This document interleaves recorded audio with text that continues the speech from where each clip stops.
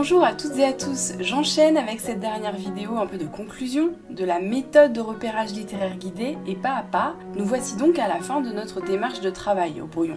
Tu vas voir qu'il ne suffit plus que de regrouper les analyses. Alors tout d'abord, je te rappelle que grâce à la méthode des quatre couleurs, tu as fait quatre lectures du texte, quatre relevés, avec à chaque fois à la main un stabilo qui correspondait dans un premier temps à un relevé des procédés lexicaux, puis un stabilo vert dans un deuxième temps pour ceux en rapport avec le système des temps et la conjugaison, dans un troisième temps un stabilo rouge pour les procédés grammaticaux et enfin un jaune pour les figures de style. Donc finalement, notre texte ressemble à cela une fois l'analyse et le relevé des procédés terminés. Tu te rappelles également des différents tableaux d'analyse et d'interprétation présentés pour la méthode pas à pas. J'ai fusionné et synthétisé les tableaux présentés précédemment pour que cela soit tout de même lisible.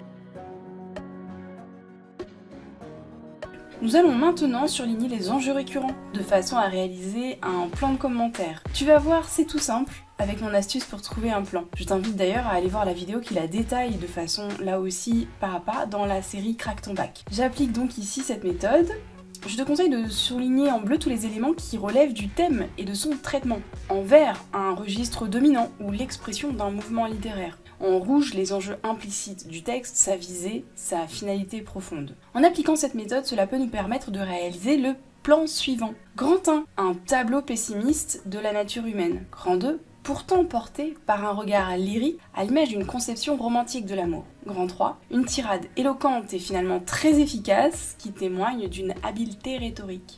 Voyons maintenant pour trouver une problématique. Alors je te renvoie là aussi la vidéo qui détaille la méthode proposée pour t'aider à trouver des problématiques dans n'importe quel texte de façon très facile. On prend le modèle de base, quels sont les enjeux de ce texte? On précise ensuite la nature de ce texte. Quels sont les enjeux de cette tirade?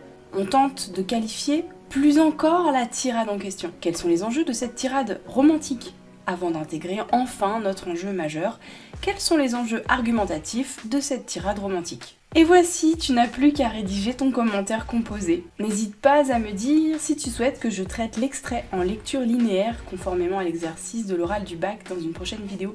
Tu peux me le noter en commentaire. Merci d'avoir été attentif et à très bientôt pour de nouvelles astuces d'analyse littéraire.